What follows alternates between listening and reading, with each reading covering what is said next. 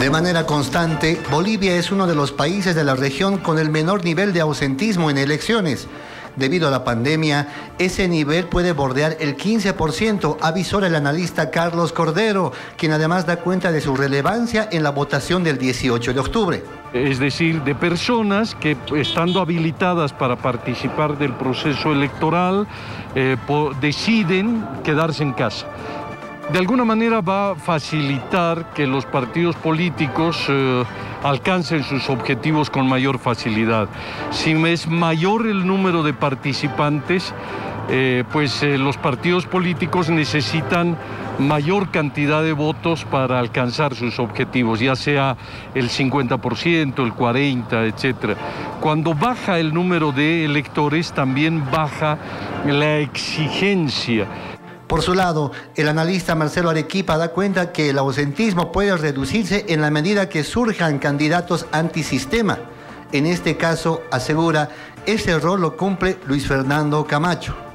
Hay momentos en los que el ausentismo se reduce mucho y esos son momentos en los que aparecen candidatos o aparecen líderes políticos que son antisistema. El 2005 fue un momento, por ejemplo, en el que hubo una alta participación, muy alta participación respecto a otros procesos electorales, porque justamente había un candidato que se presentaba como antisistema y ese candidato se llamaba Evo Morales. En este caso, en este momento, el candidato más antisistema lo tiene el bloque antimacista y está representado por el señor Camacho.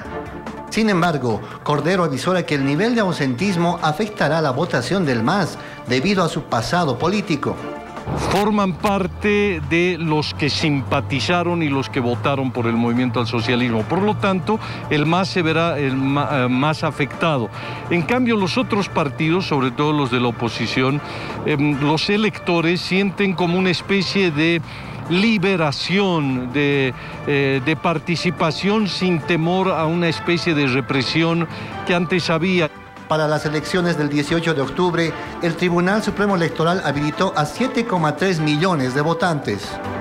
Analistas políticos afirman que el ausentismo en las elecciones podría beneficiar al MAS. Afirman que el MAS cuenta con voto militante que no teme al coronavirus, mientras que la gente de la ciudad tiene miedo a enfermarse y podría decidir no ir a votar en los comicios del 18 de octubre.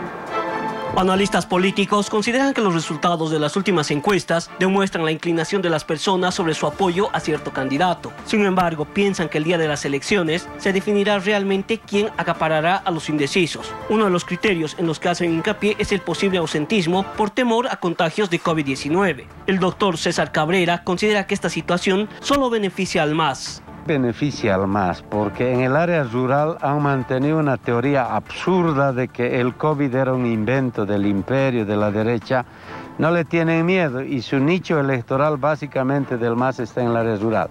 A diferencia en las ciudades hay gente que le teme mucho a esta enfermedad y va a generar un ausentismo seguramente mayor del que se produciría en un estado normal.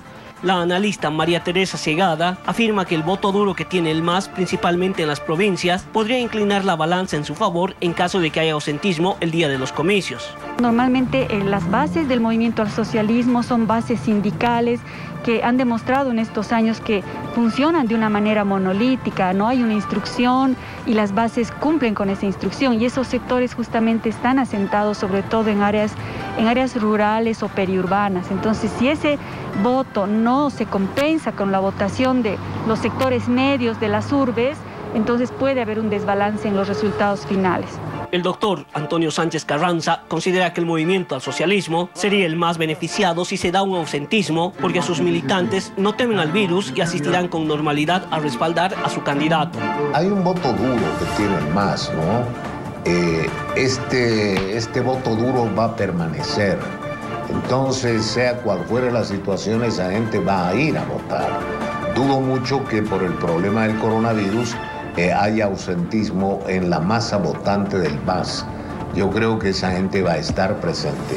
Más susceptible a contraer esta enfermedad es la gente de las ciudades, ¿no? Según las últimas encuestas, Luis Arce está a la cabeza con 30.6 de apoyo y segundo quedó Carlos Mesa de Comunidad Ciudadana con 24.7% de preferencia electoral.